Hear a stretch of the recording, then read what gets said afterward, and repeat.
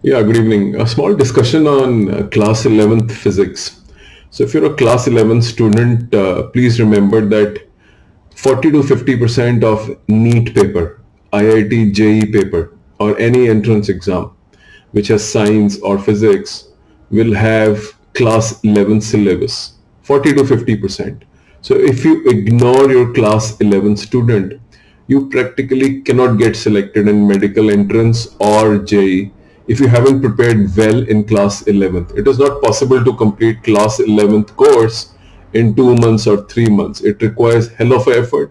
So kindly don't ignore class 11th physics. Thank you.